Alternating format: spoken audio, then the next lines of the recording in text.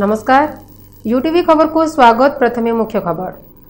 ପ୍ରଧାନମନ୍ତ୍ରୀଙ୍କ ତିନୋଟି କୃଷି ଆଇନ ପ୍ରତ୍ୟାହାର ନେଇ ଘୋଷଣା। ବ୍ରହ୍ମପୁର ପୁରୁଣା ବସ୍ଷ୍ଟାଣ୍ଡଠାରେ ସଂଯୁକ୍ତ କିଷାନ ମୋର୍ଚ୍ଚା ପକ୍ଷରୁ ବିଜୟ ଉତ୍ସବ ପାଳିତ। ଗାଗପୁର ପୋଲିସ ଷ୍ଟେସନ ଭାରତର ଦ୍ୱିତୀୟ ଶ୍ରେଷ୍ଠ ପୋଲିସ ଷ୍ଟେସନ ଭାବେ ପୁରସ୍କୃତ। କେନ୍ଦ୍ର ଗୃହ ମନ୍ତ୍ରଣାଳୟ ତରଫରୁ ସମ୍ମାନ ପ୍ରଦାନ ବିଭିନ୍ନ ମହଲରୁ ଶୁଭେଚ୍ଛା।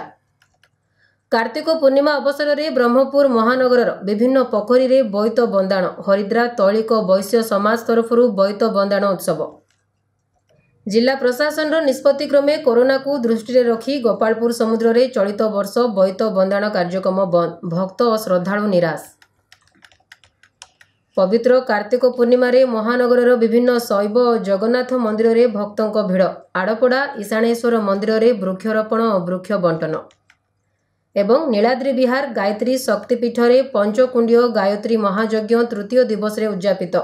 ବହୁ ଗାୟତ୍ରୀ ପରିବାର ସଦସ୍ୟ ଭକ୍ତ ଓ ଶ୍ରଦ୍ଧାଳୁଙ୍କ ସମାଗମ।